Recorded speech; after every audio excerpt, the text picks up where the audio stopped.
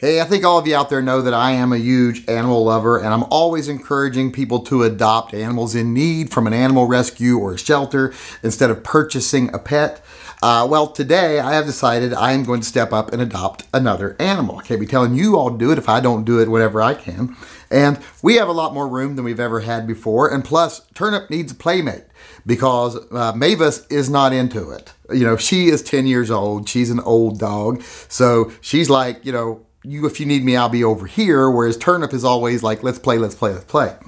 Uh, Turnip is always on top of me no matter what. So I thought, you know, maybe him having another pup to play with would keep him off of me a little bit and get him more exercise. And when Mavis passes in a couple of years, uh, he'll already have a buddy there. Won't be as hard on him as it would be if they were the only two dogs in the house. So, uh, and plus, I always like a new puppy. So we have found a puppy. Uh, right now, his name is Ryder. He is a Catahoula, I believe is how you say it. He's a leopard dog. And uh, he is going to be making his way up here from, I believe, California in the next week or two.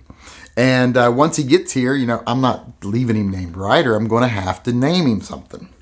So what I started thinking is, you know, some people during the live chat last week said, hey, you should do something special for people who donate $50 or more to your animal charity fundraiser that we got going on right now. If you're not familiar with it, we have a fundraiser going on over at tympistolproject.com. That fundraiser is to benefit Fur Friends Animal Rescue, where we got Turnip from and where we will also be getting this second puppy from.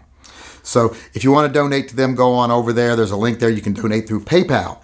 I also let people know that at the end of this fundraiser, which is at the end of this month, March, I'm going to be giving away a lot of stuff, you know. And the way I'm going to give it away is I'm going to choose people that donated. You know, people who donated ten dollars. You know, you're going to be in the running for some a bunch of stuff like red dot sight, uh, Glock knife, uh, Beretta Pico, etc. People who donate twenty five dollars or more are going to be in the running for uh, one of a couple of shotguns I'm giving away, the TAC 14s. But a lot of people said, you know, I see a lot of people are giving $50, even $100. There's people have even given $200. So there's like, you should do something special for them. And I'm like, well, I'll try to think of a special prize to give those people. But something else I'm going to do for people who donate over $50, $50 or more, uh, is I'm going to let you all name my puppy. The turnip was actually named by a viewer, John Turnus, who we call John Turnip, uh, is why turnip is named turnip. Uh, so I thought, well, you know, I'll let one of my viewers who donates to uh, $50 or more to Fur Friends Animal Rescue through our fundraiser name my puppy. So all you're going to have to do is if you've already done it, if you've already donated $50 or more, send me an email with the name you donated under and the name you suggest for the puppy. Uh, and if you're someone who does in the future donate, uh, just you can also put on your little thing there where you donate a suggested name, or just send me the name you donated under and a suggested name for the puppy. Send those emails to shootingleftofcenter.com. Shootingleftofcenter.com.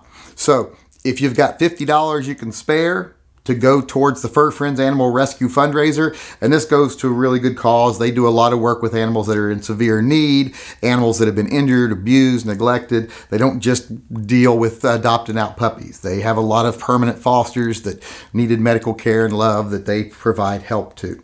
So great cause. And like I say, if you've got $50 or more to donate to them, go on over, donate, and then let me know what your name would be that you would give my puppy, the name you would suggest for my new puppy. Let me know. And like I say, at the end of this, we'll choose a winner, and that'll be his name.